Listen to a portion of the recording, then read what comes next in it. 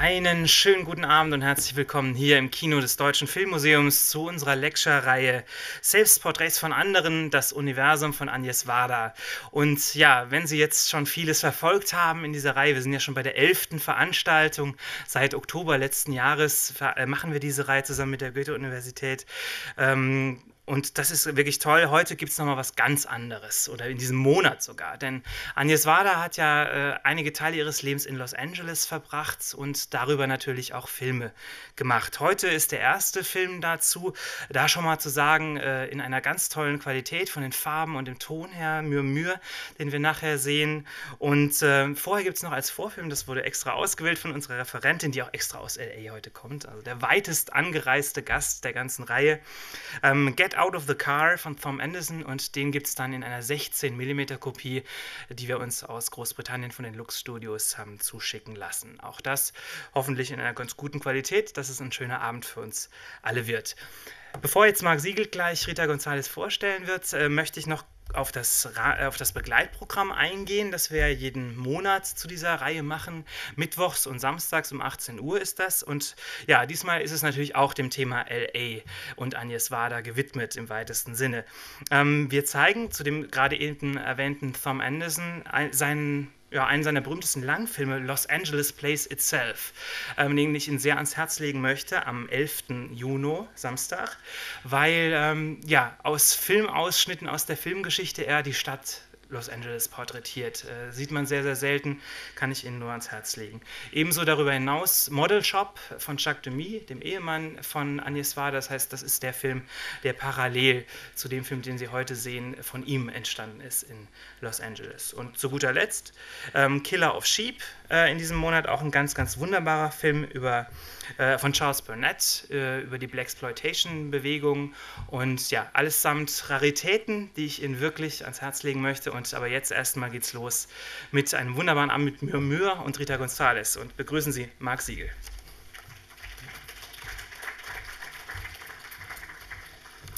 Danke, danke Urs. When Vincent Heidegger and I were discussing people to invite for this Varda lecture and film series, Rita Gonzalez was the first person who came to my mind. It's an honor that she was able to um, come all the way from Los Angeles to be here with us. Rita is someone who, at home in both the film and art worlds, and as such, she's well situated to contribute to our discussions about Varda's intermedial work. She curated the first museum show in the United States on Varda, Agnes Varda in California land, at the Los Angeles County Museum of Art in 2013. Rita's worked at LACMA, Los Angeles County Museum of Art, regularly since 2004. First on a part time basis as a curatorial assistant, and now full time as curator and interim head of contemporary art. She's curated or co curated some groundbreaking shows that I wish I would have seen, um, but we, many of us, got to hear a bit about last night at the Städel Schule. Um, shows including Phantom Sightings, Art After the Chicano Movement, and ASCO, Elite of the Obscure about the innovative LA based Chicano Performance Collective, ASCO. When I first ran into Rita in the 90s Los Angeles art scene, it was in the context of experimental film and video. She was active as a programmer and video maker, and we shared an interest in the 1960s New York underground scene around Jack Smith and Andy Warhol. But what set Rita apart from most of us who were discovering the queer possibilities of this subculture was her research into the contributions of Puerto Rican artists to this avant garde, specifically the work of drag superstar Mario Montez and director Jose Rodriguez Soltero. Rita's attention to the work of Latino, Latina, and Chicano, Chicana artists both highlights historical erasures and elisions and, if you will, provincializes conventional art and film historical discourse. Towards the end of the 1990s, Rita curated, co-curated Mexperimental, a pioneering survey of experimental media from Mexico that traveled to museums and festivals internationally and culminated in a publication. She has an MFA from the University of California at San Diego and a degree in film and media studies from the same program I attended um, at UCLA. She's one of those rare beings, someone who both lives and was born in Los Angeles. Moreover, she's one of the few curators of contemporary art at a major museum in the United States with a solid background in film history and film studies. And for both of these reasons, she will certainly have a lot to tell us about the murmurings behind Murmur. Please join me in welcoming Rita Gonzalez.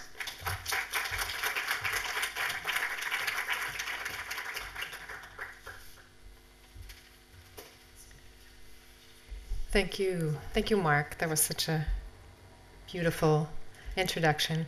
And thank you, Urs, too, for all and your stuff here, for all of your work and making me feel so at home. Um, it's such a pleasure to be able to pay tribute to Agnes Varda, as you all have been continuing um, to do, I guess, returning. For some of you have been return visitors to see these films.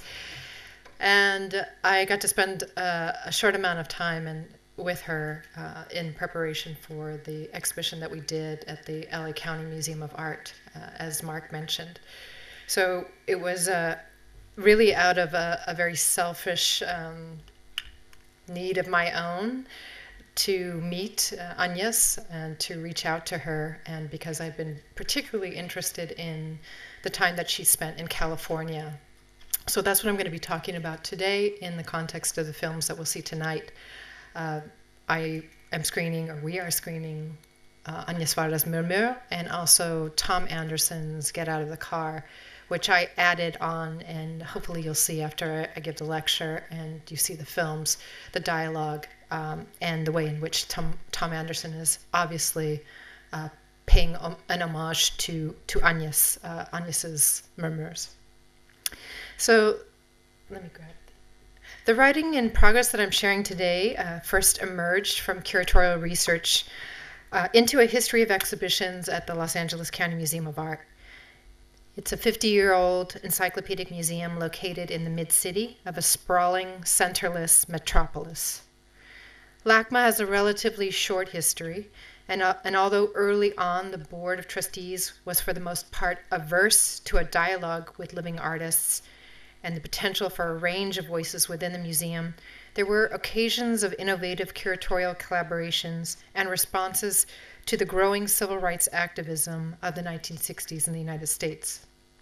1965 was, after all, both the time that the museum arrived on the cultural landscape and the year of the Watts riots. Oddly, at the same time, but certainly not, uh, but certainly on the fringes of its more conservative presentation of uh, canonical Western art history, LACMA did present a number of exhibitions with strong links to the films that we are screening this evening.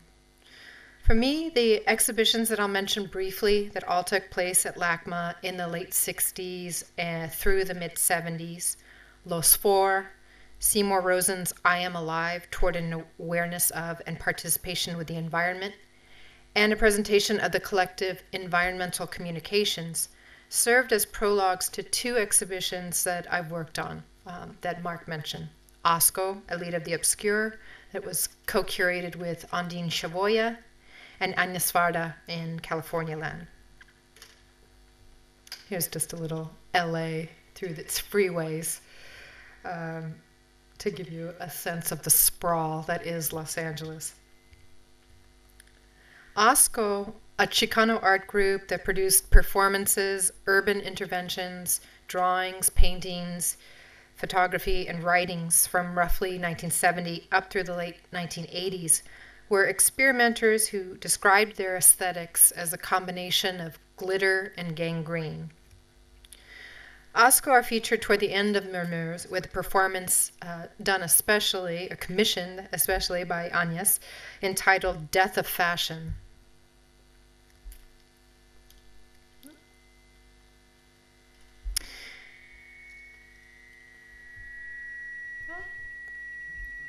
Varda has been called. Um, Varda has been called, and I would offer the same for LA-based filmmaker Thom Andersen, a profound advocate for the archival capacity of cinema.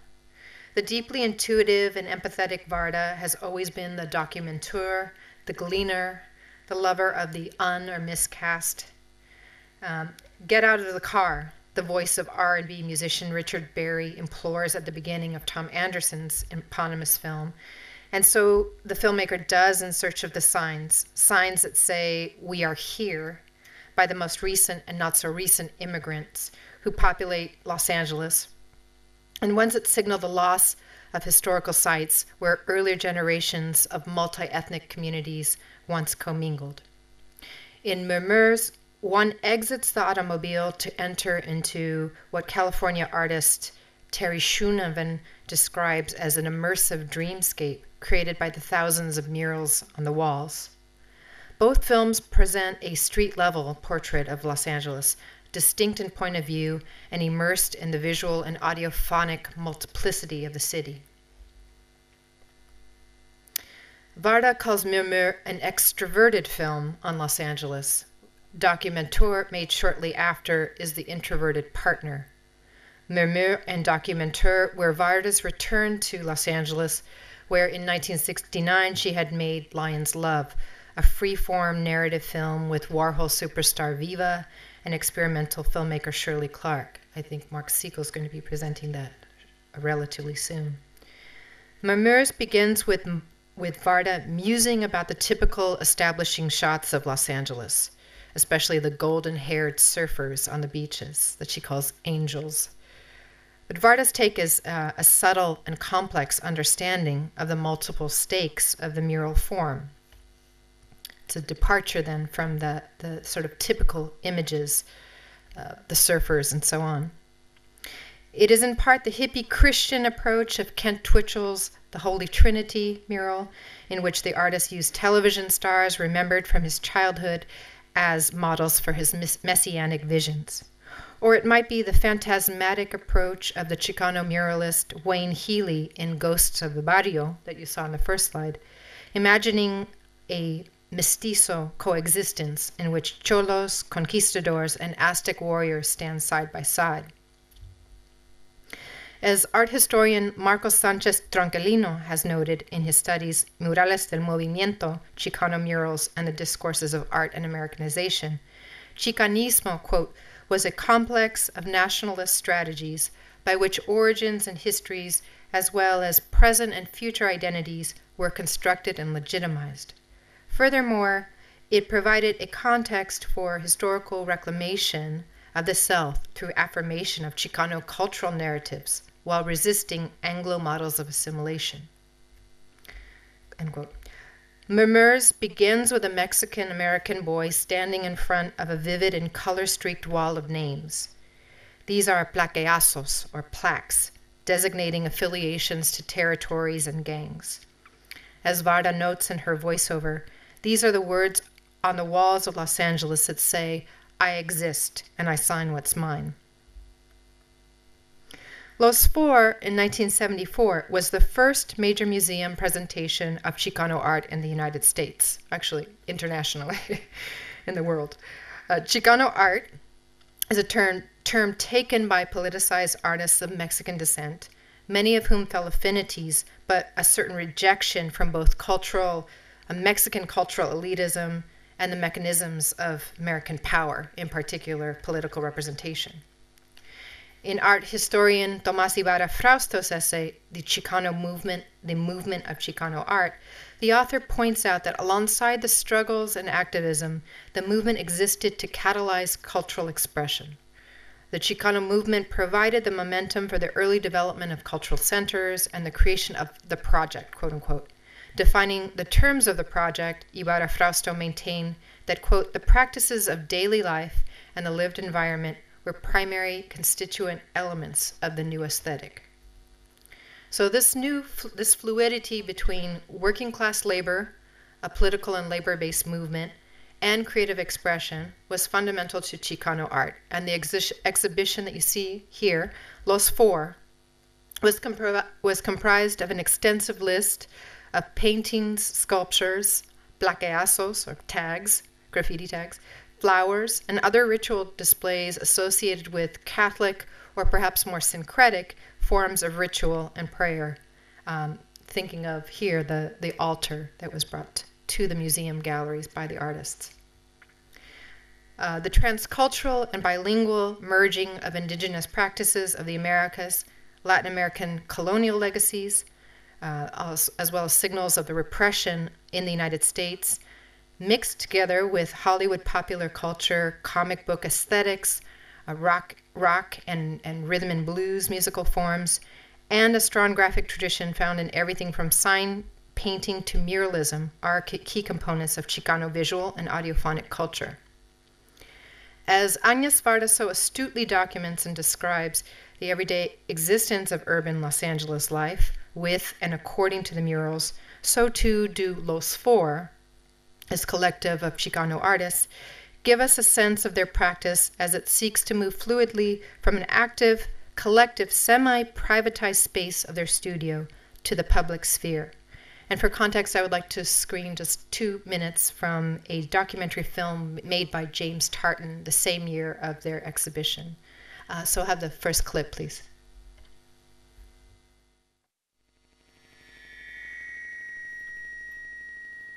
So you see in these in these images of the exhibition and from the, the film clip, the really kind of staging of their collective practice and its transfer its transfer into uh, an exhibition format, which during the run of the exhibition would unfold and more works would be added, some taken away, um, which made it a very living kind of collective activity.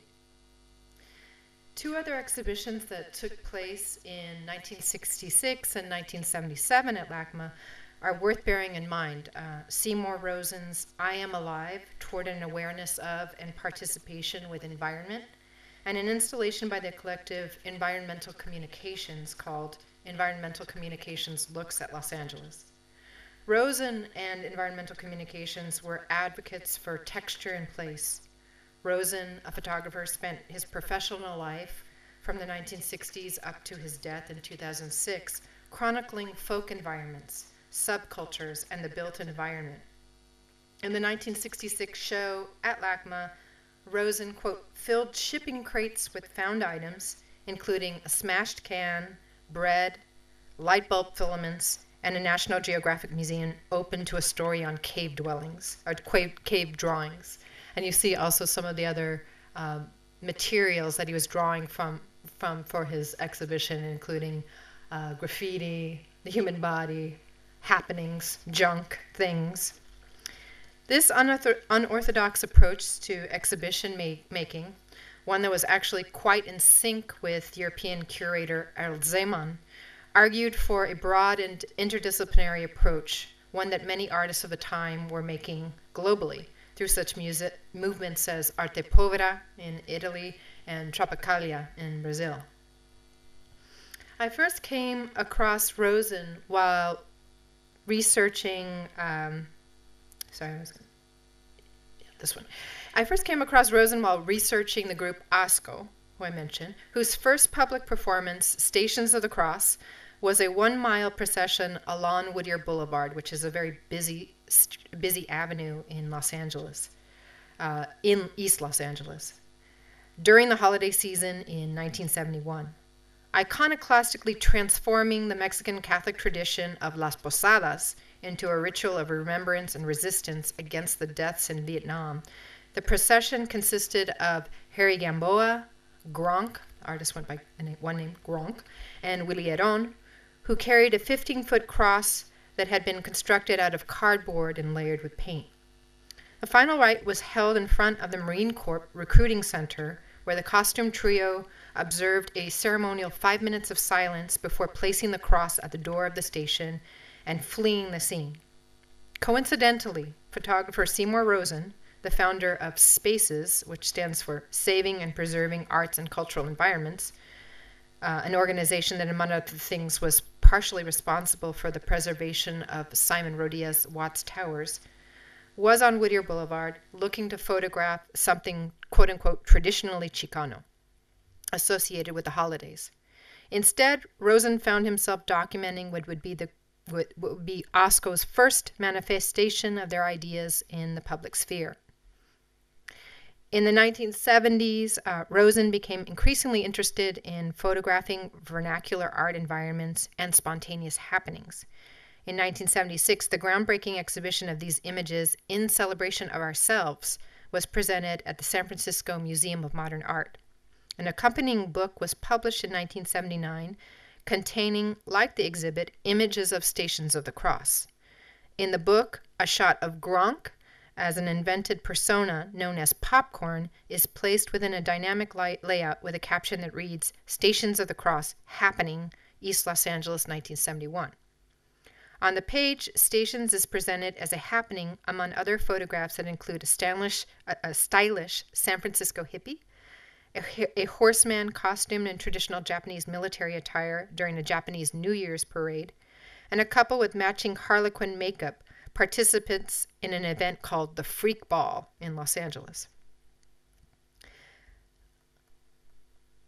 And this is a, a, another image by Seymour Rosen uh, he shot also many images of storefront architecture or storefront uh, buildings like this that had been converted into spaces of worship. So this is a, a church like you still see today very often in Los Angeles. Like Rosen and later Varda and Andersen, the members of environmental communications traveled to California functioning, to borrow a phrase from geographer and urban theorist Edward Soja, as, quote, practiced readers of surface geographies. Environmental Communications, a group of architects and urban planners, were active from 1969 through 1982 and created image archives of a long inventory of Southern California, including neon signs, graffiti, and murals.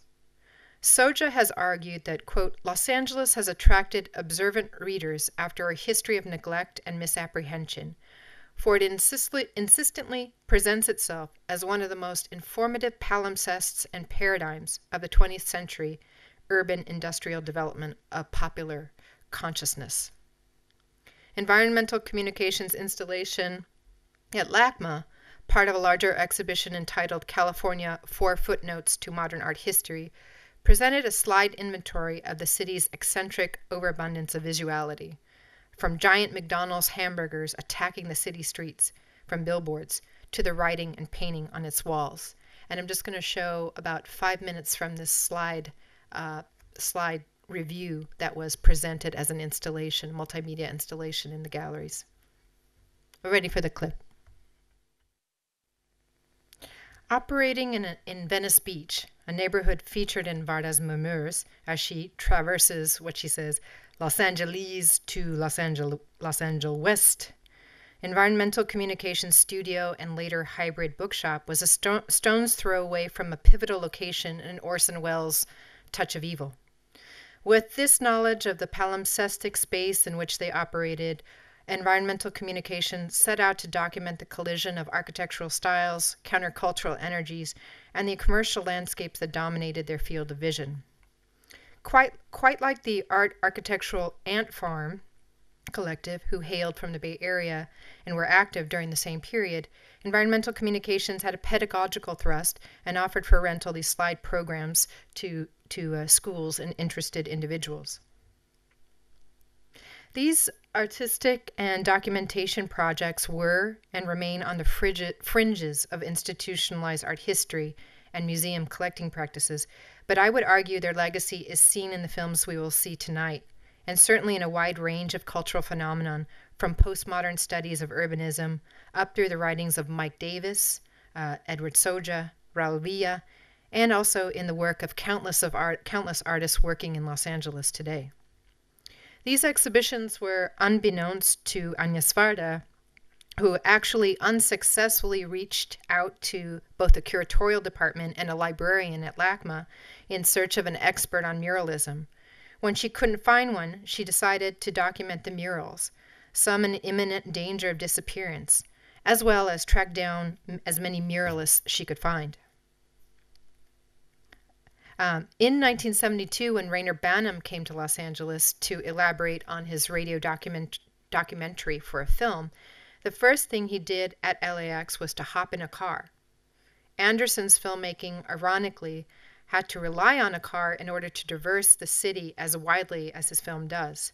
But he departs from Banham's exaltation of three of the four ecologies of Los Angeles by focusing on the corridors of industry and working and middle class suburban neighborhoods that are not often featured in mainstream media.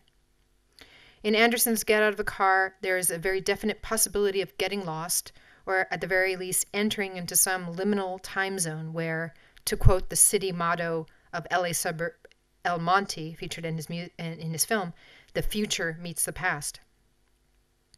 Andersen seems to invoke the temporality of the Angelino neorealism that in his magnum opus Los Angeles Plays Itself he connected to Kent Mackenzie and the African filmmakers associated with the LA Rebellion, namely Charles Burnett, whose films you'll be screening, Haile Gerima, Julie Dash, and others.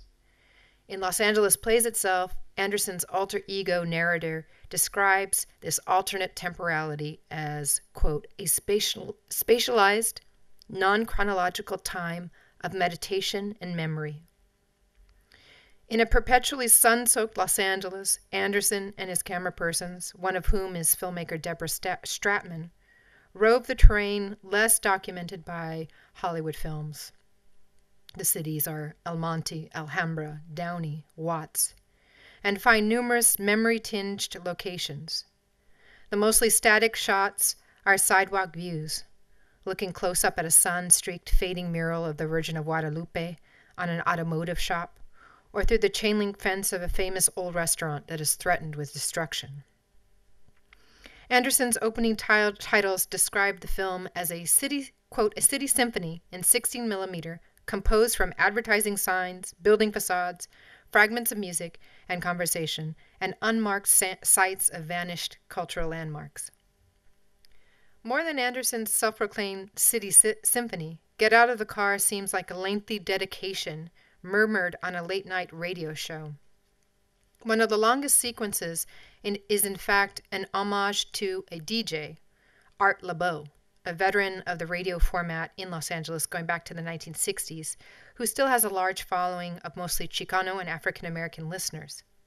In a particularly personal dedication in the film, Thom Andersen stands outside of the El Monte Legion Stadium, former music venue for rhythm and blues and doo wop musicians to the strains of a song called Memories of El Monte, a nostalgic novelty song penned by Frank Zappa and Ray Collins, Andersen shows snapshots of dances and concerts that took place in the now destroyed building. A radiophonic memory propels the soundtrack. Music is pur- purposefully recorded to sound like it's wafting out of a car or overheard on a street corner. This is true as well of Agnes Varda's film. Sounds uh, create mysterious juxtapositions, even within themselves, as we hear a Spanish language version of the U.S. country music hit Achy Breaky Heart.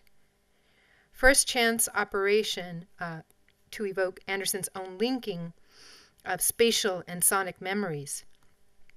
It came, as he said, it came into my mind that I can still remember hearing certain songs in certain places even 50 years later. Runaround Sue in a San Francisco bus station, Willie in a hand jive in a beachfront hamburger stand in Santa Monica. I wanted to evoke these memories. As the soundscape creates the notion of Los Angeles as a palimpsestic city, Andersen calls our attention to the layered forms in the visual landscape. Billboards peel and release hidden statements. Graffiti taggers bomb a church in South Central designed by Rudolf Schindler and commemorative signs concocted by the filmmaker serve as cautionary tales to a city known for its perpetual amnesia. And I just wanted to point out the, the sign at the top that uh, Andersen concocted for the film. He pays homage to Colby Signs, a family run printing company that was for five decades used by generations of West Coast artists, including Ed Ruscha, uh, and here's some examples uh, Al Ruppersberg, Eve Fowler, Daniel J. Martinez, Dave Muller, and many others. Andersen uses the Colby signs as a temporary phantom monument that, that, align, um, that align, aligns past and present. In Varda's film, a chorus of whisperer, whisper, a, a whisper, I should say, uh, calls out the name names of each mural mural artists. In this case, the black and white mural by members of ASCO, Gronk and Willie Herrón. Many of the murals documented in Mur Murs uh, are are either gone or in very fragile condition now. A city ordinance decreed in 1986 as an attempt to depopulate billboards was until recently applied to murals, therefore rendering any large scale paintings illegal until very recently. Andersen's film captures privately owned businesses attempting to keep the mural tradition alive, albeit in a hybridized form that sometimes awkwardly puts hand, hand painted business signage side by side with Jesus' crucifixion uh, or graffiti alongside Mexican revolutionary figures. To describe this complex arrangement of sacred and profane symbolism, Andersen has pointed to film theorist Peter Wollen's essay, Into the Future tourism, language, and art. Wollen concludes the essay thusly Modernism is being succeeded not by a totalizing Western postmodernism, postmodernism excuse me, but by a hybrid new aesthetic in which the new corporate forms of communication and display will be constantly confronted by new vernacular forms of invention and expression. Creativity always comes from beneath, it always finds an unexpected and indirect path forward, and it always makes use of what it can scavenge, scavenge by night. Both Varda and Andersen share an insatiable curiosity for the lesser known, but truly distinctive aspects of Los Angeles. Seeing these two films in one screening is a bit like getting lost in the city, losing, if just for an ecstatic moment, the sense of where the past meets the future. So I'll end there and uh, invite Urs to start the films. Thank you. Thank you, Rita, for the great presentation. Ja, und wir machen jetzt wie immer eine kurze Pause von circa 10 Minuten. Das Filmcafé hat auch noch geöffnet. Sie können sich nochmal mit Getränken ausstatten und dann begeben wir uns auf die Reise nach Los Angeles.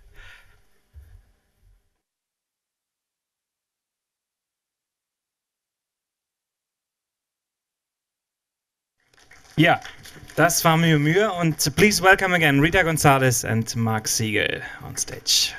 An applause. Thank you. Rita, um, thank you so much for this program. It was great to see both of these films together, um, neither of which I'd seen before.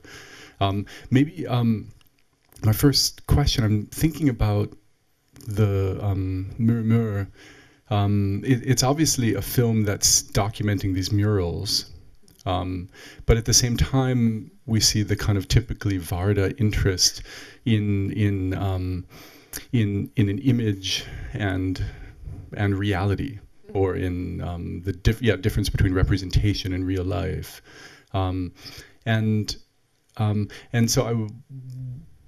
that, that seemed to me a, a, quite a contrast to Thom Andersen's film in which um, in which he seems less interested in in people in relation to representation, mm-hmm. um, and we don't even get to see people.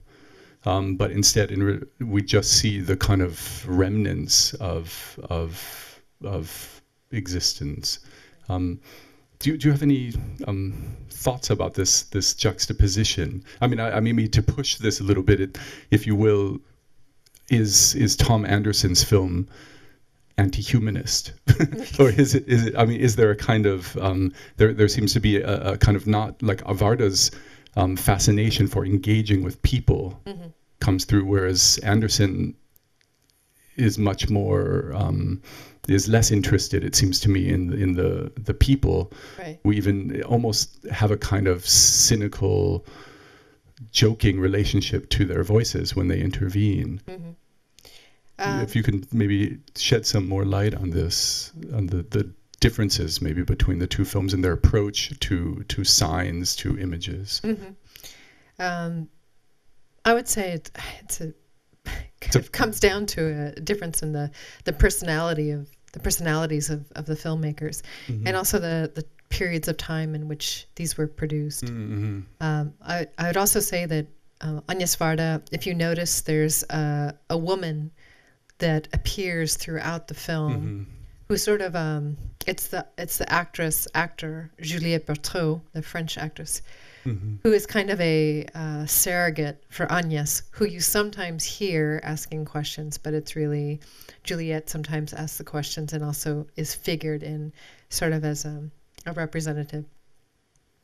Um, whereas with Thom Andersen, Thom Andersen's film actually started as a as more of an inventory. It started with you see at the very beginning it's, it was shot in two different periods of time.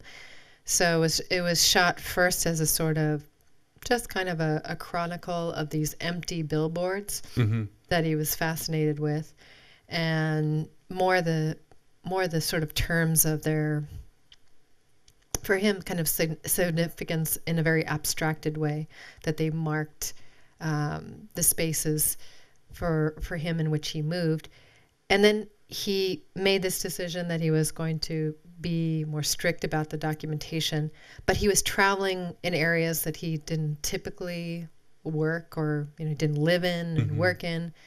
Uh, like he writes about this in a, a really wonderful essay that you can anyone can read online. Um, his his typical transit was from his house in in Silver Lake to where he teaches at CalArts, and this was taking him through all of these neighborhoods in South Central. Um, you see Watts, you see different uh, the kind of outskirts of the industrial parts of downtown Los Angeles. You see East Los Angeles, you see El Monte, places where he didn't feel like he had like real relationships per se to individuals, and the whole thing of get out of the car means something completely different for to Varda as you're as you're mentioning, where Mhm. she actually wanted to document um, in a way where she was call, you know when she was calling the museum and saying can you please tell me more about this history of muralism? She couldn't find it. So she was doing also a series of oral histories interviews um, the kind of personal dynamics that were at play for her then were elaborated in documenteur which i think some of you have seen as well uh, so i think they're just two they're very different approaches as Mhm, mhm. filmmakers Yeah. one more gregarious, as she said, extroverted, the sort of Uh-huh. extroverted depiction of of uh, of Los Angeles, and Thom Andersen's, which is much more internal, Mhm. where he's has a very much uh, m- more kind of psychological response to these spaces. hmm I, I mean, I think it's the the juxtaposition became really interesting for me because it showed to me um, how like Varda's um, fascination not just for the works themselves um, as artworks, um, but for the people who made them, for the conditions under which they worked, Yeah, for the amount of time that they took, for the care that's given to them afterwards, right. um, and um, and in in the kind of or, or the lack of care. Mhm. Um, whereas I, I mean I don't want to push the connection, um, but just because you put them in the program, it it, it sort of um, it's leaked after hand. It's just sort of present. Um, Andersen really um, doesn't give us any kind of social, political, economic. I think he a does little the- bit, maybe with he the signs, music. but- I, I think he Ah, in the really music, okay. he pushes for the music to tell the story. So Mm-hmm. he uses the the very strong history of African American, um, actually the kind of very multicultural Mhm. kind of um, collaborations that were part of rhythm and blues, rock and roll, the history of rock and roll. Um, uh, he plays a lot of Mexican music, Mhm. r- rock en español, and norteño music. So if you if you hear, it's really he's letting the the music kind of tell these stories, Mm, mm, and the mhm. stories are a lot about displacement of immigrants. They're about um, crimes of passion. They're about transit. There's about they're about boredom. They're about all of these things, and I think he's he's very. It seems kind of random the way he's Mhm. using the music because it Mhm. seems like snippets that he's overhearing, but it's very particular the way that he's stitching together the music. Mhm, mhm. Um, I think Varda did it more with kind of focusing on the Chicano artist Manuel Cruz, who s- sings the blues, and she's interested in that kind of crossover between African American and and Chicano uh, cultures. Mhm, So hers is a little bit more sociological, where mhm. again, I think Thom Andersen is doesn't want to speak so much in the sense of speaking for claiming a place, but allowing the music that that kind of pervaded his life and speaks to the history of Los Angeles uh, in a Mhm. way that these visuals do for him as well. And his is more elegiac, it's more about loss. hmm This is also during a time period when murals were, were banned. I think I mentioned briefly in, in my talk. Mm. So there weren't any new murals being commissioned In 2000 around this yeah around this time it, it it probably changed around the time that he was finishing with the film um, and and that was because uh, at a certain point um, graffiti and muralism were sort of becoming more and more enmeshed. And you saw graffiti, graffiti taking more and more over the murals. Hmm and so there was a lot of issues about if a mural was painted, then whoever was responsible for commissioning the mural had to be responsible for keeping it up, and just the sort of issues too about zoning and, Mhm, and who um, was commissioning them. In any case, it's a that's kind of a long and complicated story. But murals are now back and being commissioned But- officially. So this was a period of time too where he was documenting this this in a way this this loss. It's interesting. Just one last comment, and then we can open it up for for more for a bigger discussion. Um, it's interesting that you bring up this the graffiti and the murals because after we saw the Thom Andersen film, I somewhat expected with Varda's film that we would get this kind of pure, crystal clear, clean depiction of the murals. But um, not only were the murals at that time also tagged, um, lots of graffiti, but Varda um, emphasizes that Yeah, she in her appreciated she it, too. appreciated that and and and it's not even thematized we don't have the muralists any muralists like upset about that Yeah. um at least they didn't speak about that it's never you would think maybe that that could be something that they would be upset about but it didn't seem like they were do you know more about that did the muralists did the muralists themselves see the tagging as um, a violation of their artwork, or did they see that as a further extension of the presence of Chicanos in public space? I think actually very few appreciated it. Um, the mural that you see of Willie Herrón, that's called the, mur- the the wall that cracked open. That's a case where he actually invited people to tag it, and it was a case where he wanted that kind of gang violence that um, his brother had been subjugated to when his brother was knifed in that in that site. So for him, it was almost a memorial site to this this level of, of violence in the neighborhood. But for the most part, I think graffiti uh, people who were muralists don't want their don't want their work. Uh, in fact, that that kind of led to the in a way that censorship and the and the stopping of murals for a long time. And now even with uh, more and more conservation efforts, I think Willie Herrón would probably have a, a different perspective and want his work to be more respected, and as as do many other muralists. And a lot of actually, like you see with the, you see the at the end the um, the the images in Venice. Uh, those were done by Terry Schoonhoven and the Los Angeles Fine Art Squad. A lot of their murals are gone. You know, a lot of the murals actually that you see are are gone because of development, real estate development, um, and just the times have changed. So this is a real document of Los Angeles that doesn't exist anymore. hmm sorry, I said I'd open it up. I just have one last teeny little question um, or comment. In the in the film, she Varda seemed to focus. I, I mean, you can't. I don't know that there was a a main muralist, but if there was, it seemed to be Kent Twitchell, um, which to me seems somehow to fit for Varda because he's an illusionist. He's representational. It's very much about uh, a person in relation to the image, um, and but he's also like a white muralist, and she doesn't necessarily talk about distinctions among the muralists in that way about um, competitions or anything like that. But I don't know. So those are two different kinds of questions. But one, do you was he a more important muralist, or was it simply Varda's interest to focus on this illusionist? Yeah, he Muralist. definitely is one of the most uh, significant muralists. He's still around. He's still engaged with muralism. And he's also been involved in some pretty high profile lawsuits because a number of his um, murals were were destroyed. hmm Um, that I, I think she was more interested in, and from what I remember her saying, uh, especially with the mural with the, the Holy Trinity, Mm-hmm. is this very strange kind of conflation of the Hollywood, his Hollywood memories or televisual memories Mm-hmm. growing up, and how he kind of overlays that onto religious Christian symbolism. Mm-hmm. I think that for her was kind of a trip. I mean, in a way, just, Mhm. just something she's very interested in. But Twitchell is definitely, if you actually still in Los Angeles, you'll see on the side of the 101 freeway, on the Mhm. 110 freeway, you'll see his freeway, his, you see his murals. Mm-hmm. Oh, okay. Okay. So, So, that they're still around and so in a sense, it was a, a legitimate yeah, definitely. sort of and Judy uh, Baca too, yeah. who's Yeah. very yeah, well known still, and runs a space called SPARC, which is a Mhm. social social public art resource center in Venice, California. Still, Mm-hmm. Okay. Yeah. Thank you. Are there Definitely. other questions. further comments or questions? And give me a sign and I come to you.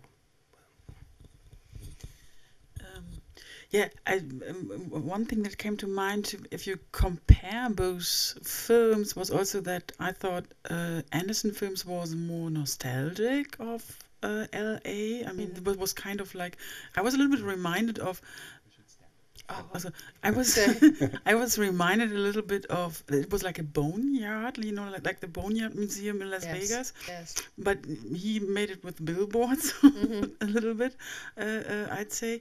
And uh, in comparison to that, I think um, Varda has more, um, I don't know, a living history approach, or I, I don't know. Yeah. Um, yeah. It's, I mean, different time periods too. You Mhm, know, yeah. in the early '80s, which was still, I would say that it wasn't the height of muralism because a lot of these had been earlier in the '70s, but still the this um, the commissioning was active, the the display of murals was was very present. So it's something that I think though you really have to appreciate the fact that not a nobody had paid attention to this, even though they were so pervasive and there was such a visual phenomenon. I don't think until she paid attention, well, with the exception of the, the things that I'd shown, environmental communications, that group, there really hadn't been that acknowledgement of this as a as an art form, um, and, and maybe it was because of her being an outsider and her her vision. But it's just it always struck me as very powerful that at the very beginning when she's saying, you know, really when you think about Southern California, you think of the Hollywood sign, you think of the surfers, you think of very almost cliche, you know, at this point, images of of the West. But for her, it was all about this other landscape that she wanted, you know, that was so visible that it was invisible in a way. She wanted to play with.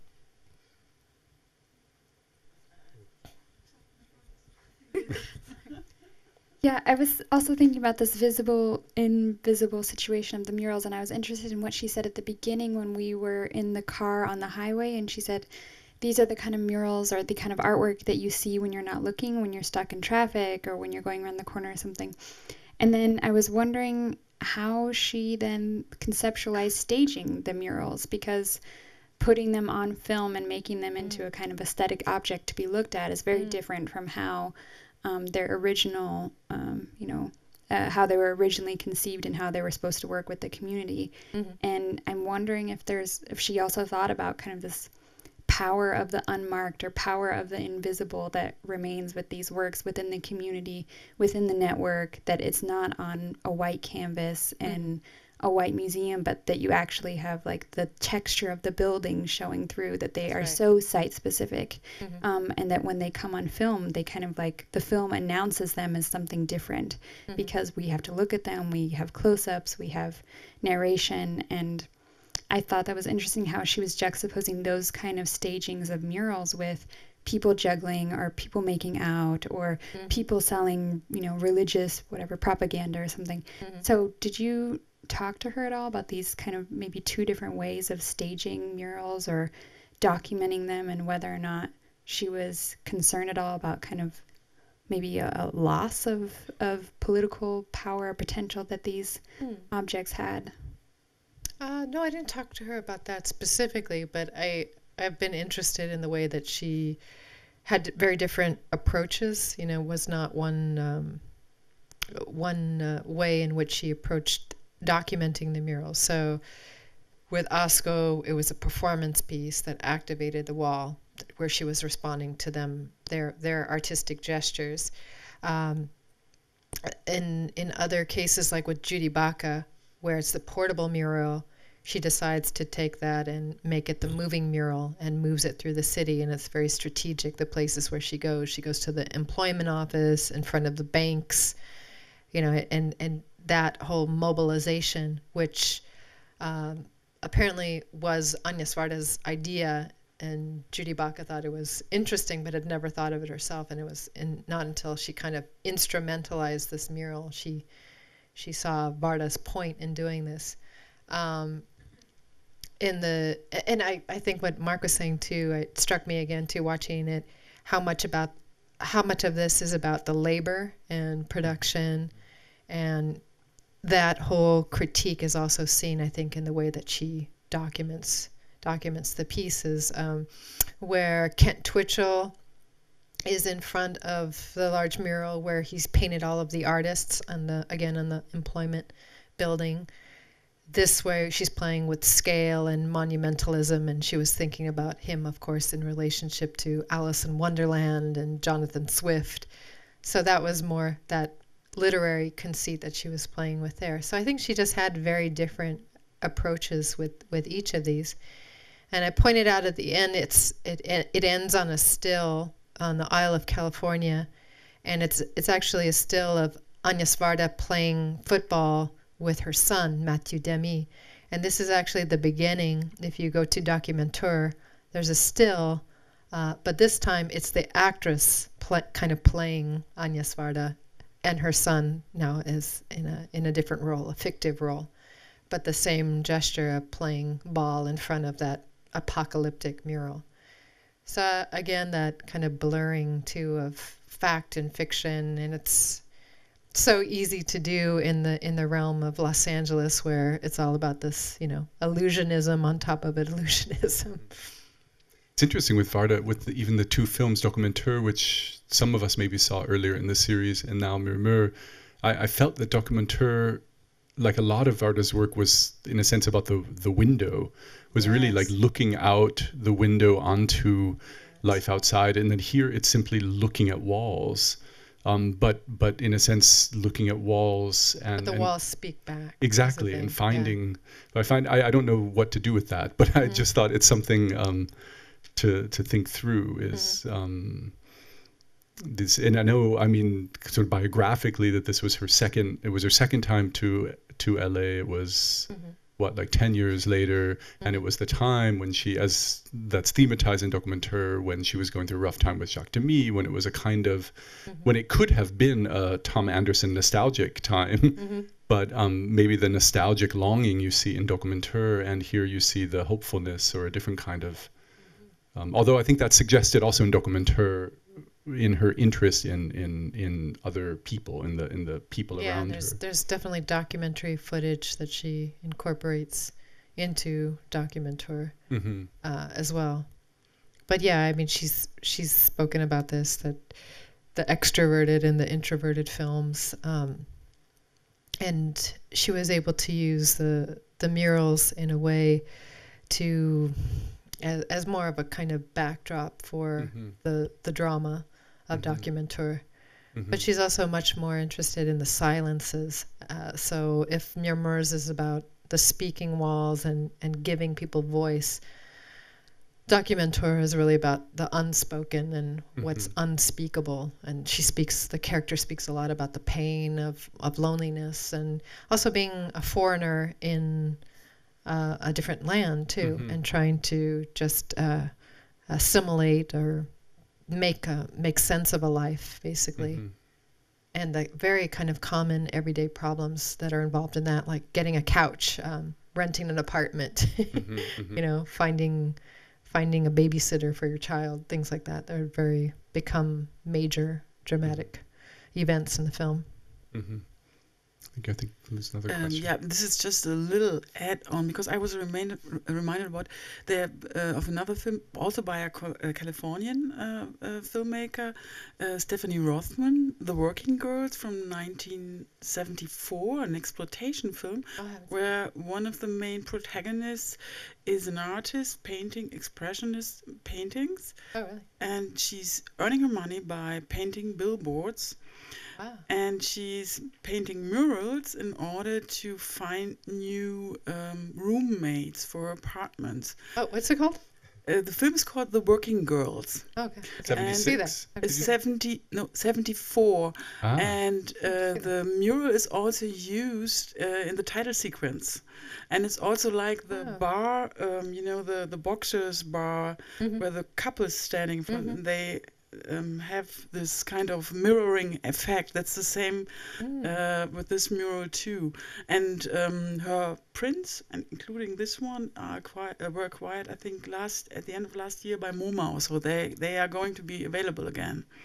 But it's an exploitation film. It's a, fiction film. But it's because it's, uh, she in '74, as a Californian, makes also this connection between billboards, um, um, um, murals, and art and filmmaking. See that. Thank you. do you have a copy? By me, I have a I have it on uh, DVD. Oh, Oh. okay. Let's check it out. Are there other comments about the films, about Rita's presentation?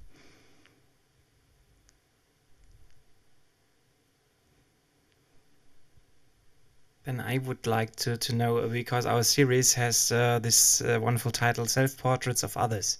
How would you comment on that, especially uh, after seeing these two movies or uh, the last one and uh, Incomplete? Because you, you uh, yeah, you had to do so much with Agnes personally. How would you see this phenomenon, uh, self portraits and self portraits of others in his, in, yeah? Yeah, and self self portrait. Yeah, through through others. Yeah. Mhm. Uh, yeah, I, I think for both of them, it's uh, it kind of speaks to, I would say, a very ethical dimension of their work. Although I I know the whole, you know, there's the documentary in particular is is fraught when it comes to. Um, encountering and depicting the other and these interviews happen in short frames of time and then the editing happens and of course there's a lot of complications after uh, representation wise, but I do think that there's a really strong ethical dimension and that neither of these filmmakers do kind of fall prey to like treating these treating their, their subjects in in uh, cliched ways. Uh, they really both, uh, and I think it, it it is also about their their own um, role as artists, filmmakers who also write and the fact that this is these are both really kind of different forms of, of film essays um, not so much with the Thom Andersen in terms of the spoken but maybe in terms of the sonic uh, that um, they they pay very close attention to presenting something that's very presenting their subject in a way that that is complex um, and that's not often done, especially with depictions of African Americans and Mexican Americans or Latinos in in mainstream media. I mean, it's always these very stereotypical, cliched presentations. So for both of them, they're very interested in these these layered, very transcultural, bicultural existences, and I think that's that's just something both Varda and Andersen have a, a very strong attentiveness to. And it's something that Agnes Varda developed over many years, working as a photographer, uh, documentary, and then into taking documentary into fiction, as she did early on with her films. I mean, in this in this film, almost the the murals themselves are self portraits of the others. Of the, you of know, in a sense, and of the right? artists too. Yes, yeah, Of the, so many of them are representational. There are very few right. abstract. hmm Um, is that is that typical of of the murals? Are there that you know of? I are think that's like just you know in like terms of Malevich econ- economic uh, economics of resources and being you know, getting commissioned to do something and then having a very limited window of time to do it. So you use a picture of yourself, or use your friend, or you know, you use the mirror Mm-hmm. because you have this this. It's not the the opportunity to have, you know, countless weeks to to to uh, depict somebody else, and uh, maybe with with Kent Twitchell being being uh, a departure to that, but um, Kent Twitchell's being more commercial commissions. But yeah, I think that is kind of common the the use of, Yeah, of self portraiture. Self portraiture and then also like representational figuralism. Oh, figure- And does yeah. that is like is that just simply I linked to she the? show, I think she showed a sliver because there's there are a lot of abstractions. There Mhm. there's what is that symbolic surrealism that Italian artist who paints in Venice Beach do. Oh yeah. You yeah. know, there's there's these strange too conflations of art historical references to uh-huh. you know everything from sur- surrealism to psychedelia, and those those are all very present too once you start Mhm. looking for yeah, for the yeah, murals. that's, that's true. But she was attracted, I think, to the faces in a way, and she she certainly carries that over in Documenteur, where it's really all about the faces, the bodies, the expressions hmm of the representational murals. hmm I wondered if it had to do also with the muralist interest in a kind of mm, giving face to themselves, to their community, to Mm-hmm. Oh, their sure. interests, and Yeah, yeah, absolutely, yeah, and a and a and a more historical legacy in Mhm. relationship to, well, for for many the the connections to Mexican muralism, but others too. There was worldwide a kind of um, third world, I guess, quote unquote, third world aesthetics of Mhm. of making face and having the face, you know, pointing at that that one that you know I'm not a minority, kind of that that confrontation um, from the from the wall as well. That speaks out. That's urgent. That's didactic. That's also a very strong impulse, and also the the impulse to represent. Um, a sort of, I mean, this has been critiqued too, that to present the normative family, usually kind of Mhm, mhm. heterosexual normative family too, that's in muralism as well. That kind of comes more out of African American nationalism and Chicano nationalism, Mhm. which has then, you know, subsequently been critiqued by gay and lesbians and feminists. But that that's also part of that figurative tradition as well.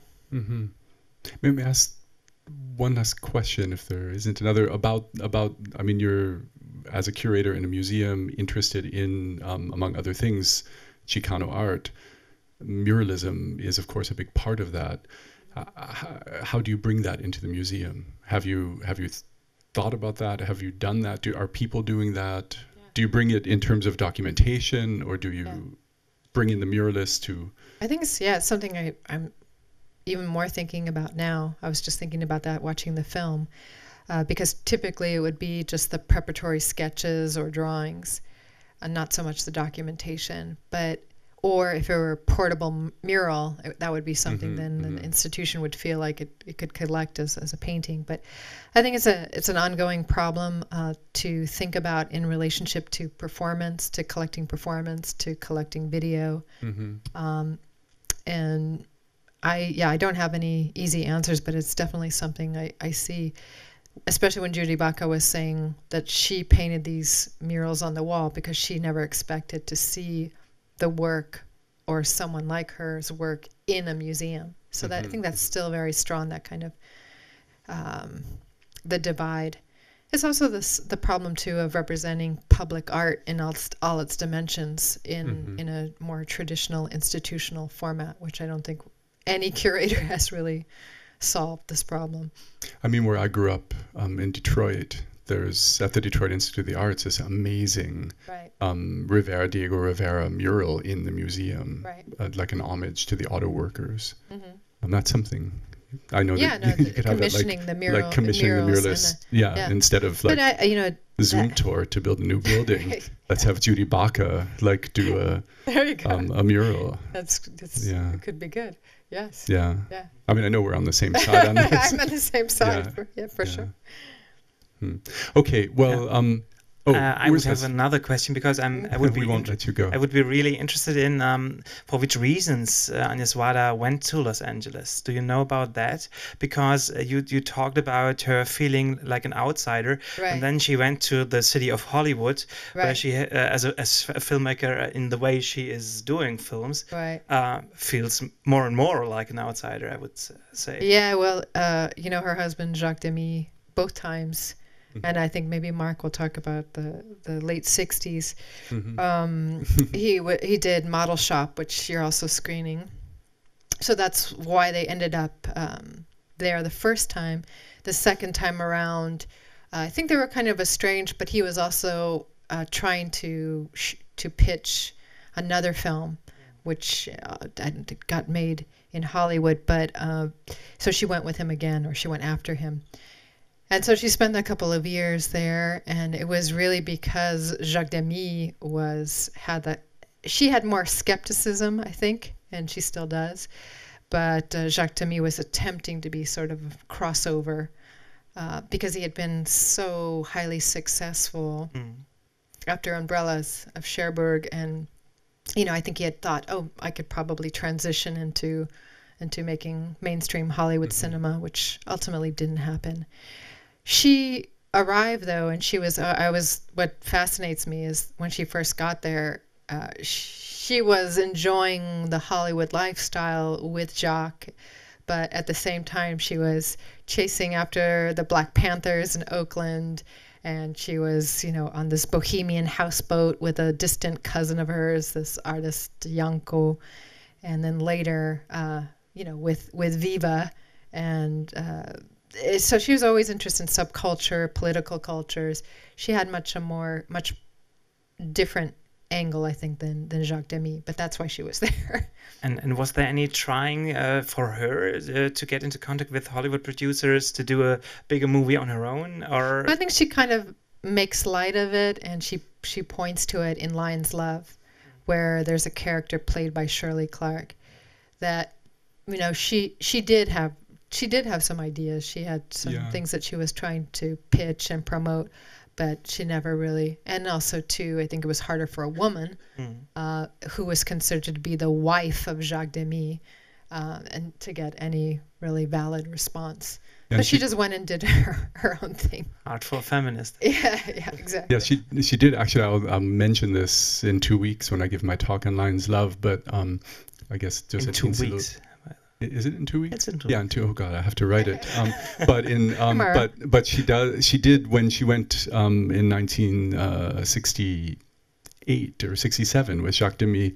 Um, and he had this offer from Columbia Pictures to do model shop. She also, um, while she was there, met with executives for Columbia, and actually um, they wanted to produce a screenplay. She wrote a screenplay for Columbia called Peace and Love, um, which um, was rejected then because they they wouldn't give her final cut, um, which she didn't want to agree to. Um, and because she wasn't, as Rita said, um, as interested in Hollywood as Demy was, and so then she um, sort of kind of thematized that experience in the film that we'll see in two weeks, Lions Love. Yeah. if there aren't any more questions, we would say thank you very much to Rita Gonzalez thank you. for this presentation. Thank you very much. And to Mark, of course. And uh, yeah, I want to say, oder auf, ich mache es auf Deutsch, die nächsten beiden äh, Veranstaltungen sind dann schon im Wochentakt. Also nächste Woche, ganz spannend, Richard Newport äh, wird von der University of Georgia hierher kommen und über war das ersten Film reden, La Pointe Courte aus dem Jahr 1955. Das ist sehr, sehr empfehlenswert. Auch den Film sieht man selten im Kino. Und dann eben in zwei Wochen, am 16. dann Mark Siegel über Lions Love. Und ja, Ihnen einen guten Nachhauseweg und bis bald. Tschüss.